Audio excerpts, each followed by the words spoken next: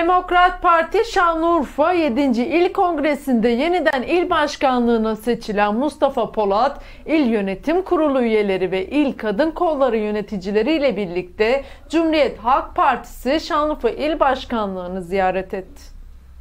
Cumartesi günü Demokrat Parti'nin 7. il kongresini yaptık.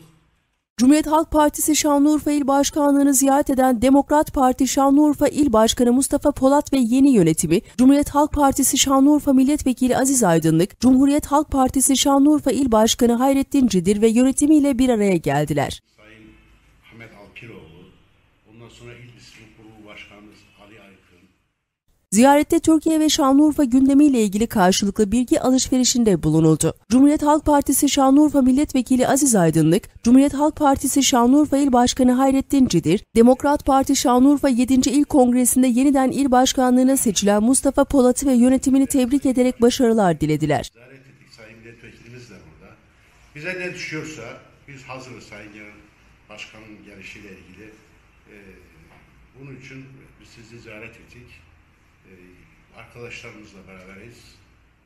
İnşallah. Milletvekili Aydınlık ve İl Başkanı Cidir, Demokrat Parti Şanlıurfa İl Başkanı Mustafa Polat'ı, İl Yönetim Kurulu üyelerini ve İl Kadın Kolları yöneticilerini 25 Kasım 2021 tarihinde Genel Başkanları Kemal Kılıçdaroğlu'nun Şanlıurfa programına davet ettiler. Biz buradayız. Bu imkanı bize verdiğiniz için size teşekkür ederiz. Saygılar sunuyorum. Evet, ben de bugün Demokrat Parti Şanlıurfa İl Başkanı Mustafa Polat Bey ve heyetiyle bizleri onurlandırdılar. 25 Kasım'da ilimizi ziyaret edecek olan Genel Başkanımızın e, ziyaretlerinde kendilerine bir görev istediler. Gerçekten ben bu anlayışından, anlayışlarından dolayı kendilerine çok çok teşekkür ederim. Olması gereken de budur. Genelde ittifak, yerelde ittifaktan geçer.